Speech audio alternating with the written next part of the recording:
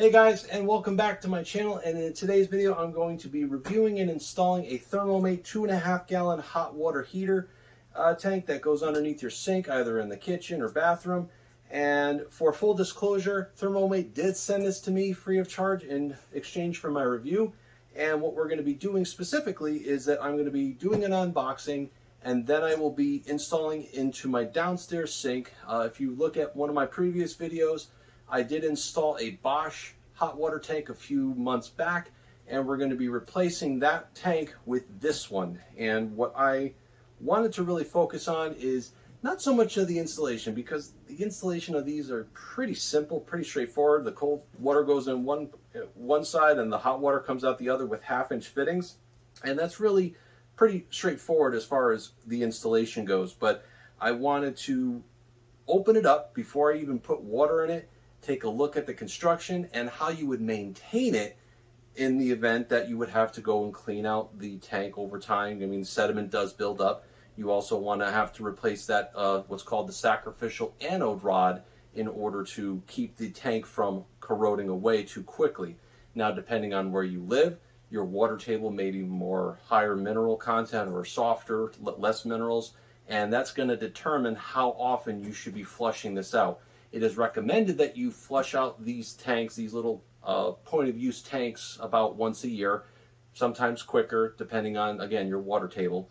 Uh, this has got quite a bit of, well, let's open it up. Let's check it out. Let's do this. First unboxing. Let's see what we get.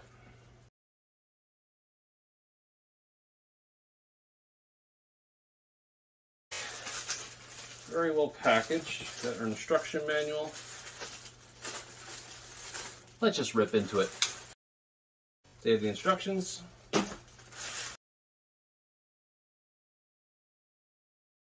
Pretty small. This is the two and a half gallon. Let's see, what's this on top? So what they do is they give you, so these are all plugged off, but up here, let's see, there's actually more stuff in the box here.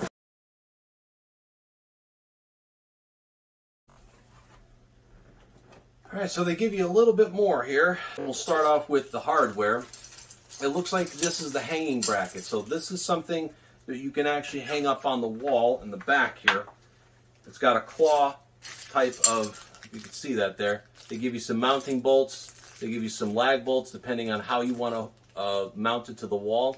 Sometimes you can do it on drywall, and then they have these large uh, wood screws, lag bolts to go into it. You have to find a stud and then you would mount it here and it will actually lock into place here and it can hang on the wall if you were short on room or space, if you couldn't put it on the floor or anything like that. Now up here, they give you this, which I believe is the pressure relief valve.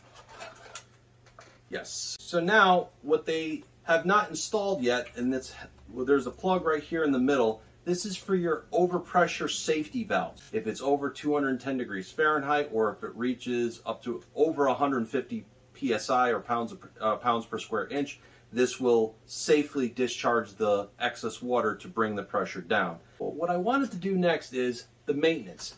Here on the front panel, we're going to take off the front panel to go and drain this out you want to be able to uh, take out the heating element and also inspect the sacrificial anode rod. We're going to see where that is on this unit and see how we can do our typical maintenance for it. All right, here we are on the front of the unit. So in order to service anything inside the unit, we have to remove this front plate here. And what you have to do is you're using a utility knife or a pocket knife in this case. There's these two little rubber grommets that hide two small Phillips head screws that we'll go ahead and remove. So over here, this is going to release like this. And let's, don't want to lose those screws. Now it's going to expose all the control pieces over here. And over here is your heating element. You have your earth ground and you have your two leads.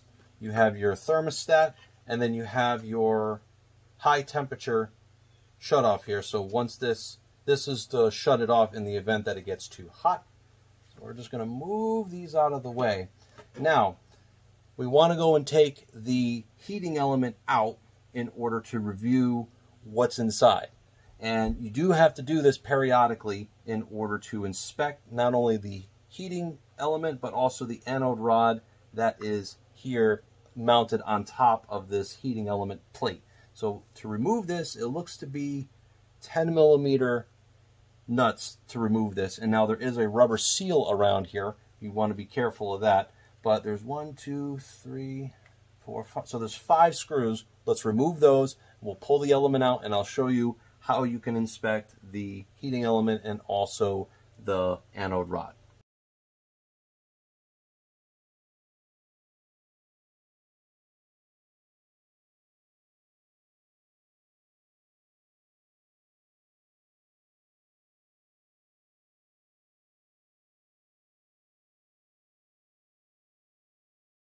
All right, now that we got the bolts removed, we're going to just take it out and inspect it. And it should be pretty straightforward to do. Just want to be careful. Oh, wow, that's actually a much bigger heating element than I than my old one. So this is a pretty significant size heating element. So I'm assuming that the recovery on this uh, tank is going to be fairly quick compared to others. That's actually pretty good because this element goes in and then it loops down and around, comes back up. So the more space that uh, the, the more surface area you have is this this part of the metal here, this heating element gets hot, and that's going to heat up the water. Now up here, right here, is your sacrificial anode rod. This is what you need to look at, and over time this will start to corrode and be eaten away, but that's okay. That's what we want this rod to do. We want this rod to go and get corroded and worn away first before it starts eating the tank in, inside there. The what's happening inside the tank when you have an electric hot water tank and pretty much any hot water tank is you have electrical currents, eddy currents, uh, electrolysis is happening. It's pulling electrons away from the steel. And we don't want that to happen if, with the steel tank. Instead, we want something to be, we want that electrolysis to happen with the softer metal like this magnesium anode rod we want the corrosion and electrolysis to happen to that and not the tank inside. So that's the reason why we have these here.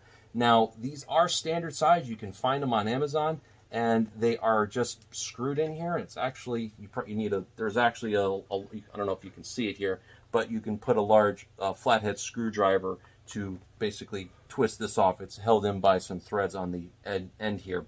And they're not that expensive. Uh, they're pretty standardized. It it depend again depending on your water table it's it may need to be replaced once a year could be every other year but they do need to be inspected at least once a year.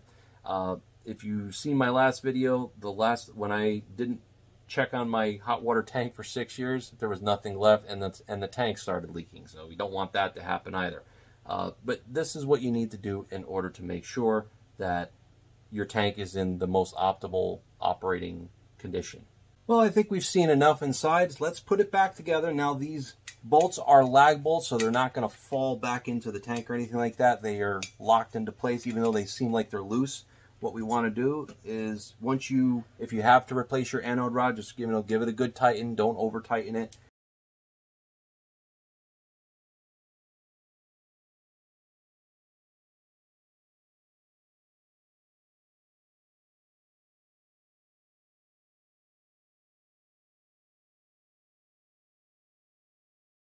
I did wind up getting a 10 millimeter socket with a wrench, with a ratchet wrench here. And you want to go into a crisscross pattern. So one, two, three, four, five, back and forth. And once you get them to be nice and snug, that's it. You're done. You don't need to over torque these things down because what will wind up happening is you'll squeeze out this rubber seal and then you can eventually develop leaks. So we don't want that. So just a nice, it's got to be snug, but not overly tight. And then this is all set, ready to go. And then the procedure to put everything back, we'll just, just tuck the wires back in there, make sure everything is good to go. And there's this tab right here on the other side. It'll go into this slot here. And now I should be able to get this all back into place.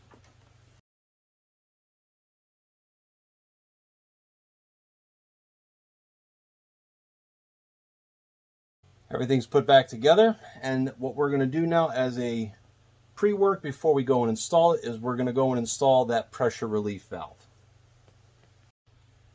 All right, we're going to go and install this overpressure device. Now it does come with some Teflon tape already on there.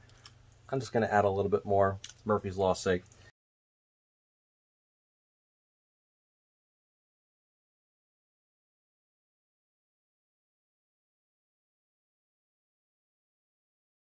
And here we are down in the bathroom on the main floor. And what we're going to do is we're going to take the Thermomate and swap it in, uh, replacing this Bosch unit that I installed about uh, eight months ago. Swapped out the tank. All I had to do was use the half inch fitting from the existing setup here. So the hot water line goes into the cold intake and then the output, the hot side, goes up to the spigot on the sink. And what we're gonna do is, since this is empty, we cannot turn it on. Make sure that your thermostat is off. When I turn on the water, it's probably gonna make a bit of a bumping sound because there's no water in there. But once I open it up all the way, we should be all set to go.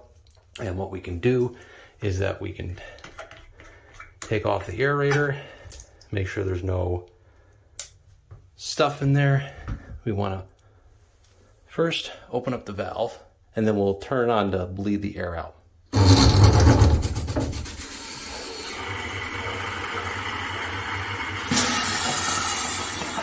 There we go.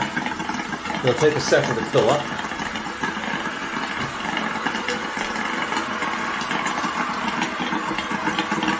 You feel the air coming out. I'm just putting this in my hand here so it doesn't splash me.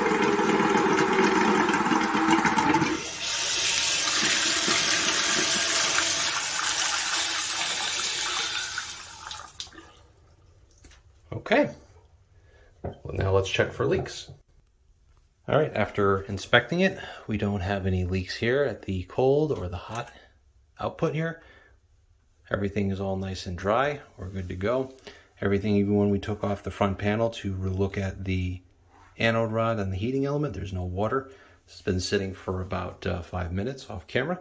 So what we did was we plugged in and now we will turn this on there's already hot water in there, so it may not turn on immediately. But if I wanted to set it to 225 degrees, it would turn on.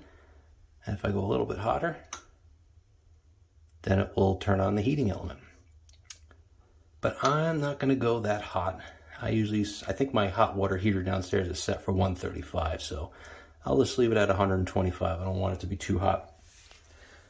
And now,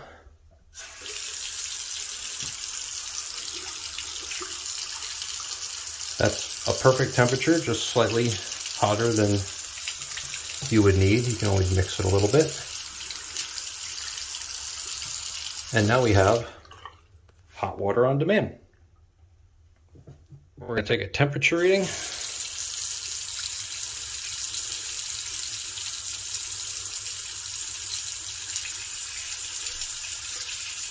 Looks like it's a little low. I did set it a little bit less than 125, so it's pretty close. But that's plenty hot for washing your hands. So I am happy with that. Well everyone, I'm going to end this review video here. I will definitely check back in about six months because I want to see how the heating element and the especially that anode sacrificial anode rod is faring. I seem to have pretty high mineral content water where I live, so that could prematurely age out that anode rod pretty quickly. But check back in six months and we'll see how well this is operating. And if there's any updates, I'll certainly update before then. But thank you so much for watching, guys, and for supporting the channel. And we'll catch you on the next project. Take care.